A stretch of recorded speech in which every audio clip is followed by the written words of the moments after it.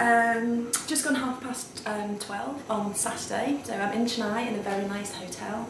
The journey from the airport to the hotel last night just reminded me, you know, what India is like and crazy roads and lots of people milling about and the smells. I forgot that India has this really strong smell. I don't know what it is, it's like a mix of, of spices and heat and traffic. Um, so yeah, I'm really, really looking forward to, uh, to the next couple of weeks.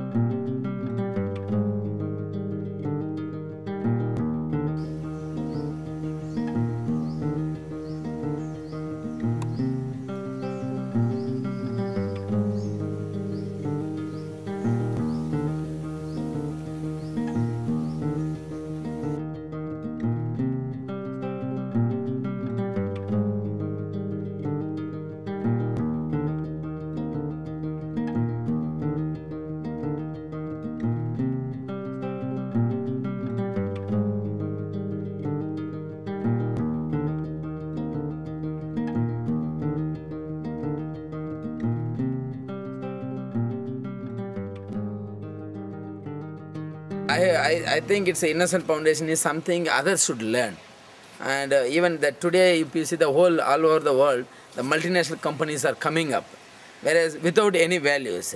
And they don't have any development aspect. Whereas Innocent Foundation, not only uh, it's using the nature, but also something is giving back to the people who are uh, you know, developing the nature. That way there is a circle is there. We are very proud about uh, being part of uh, you know, knowing that Innocent Foundation is helping. Went out to some of the villages yesterday. Mm. Um, it was really interesting to see how the Irula people live and how they really don't don't have anything. So to be able to, to fund housing and education and things like that is, is a really important thing to be able to do. Well, my two weeks with ITWWS are finally over. Um, it's really, really sad to say goodbye on Friday. Um, I just worked with such a lovely group of people who are so kind to me and, and really looked after me well. Um, I've definitely learned a lot. Hopefully I've given something to them, um, put together a website, I hope it's okay. Um, apparently it saved them 20,000 um, rupees and they were really pleased with my work. So it seems to have been a, a general success all round. Um, so yeah, I'm leaving with a bit of sadness but also a sense of, of achievement and um, having accomplished something really quite special.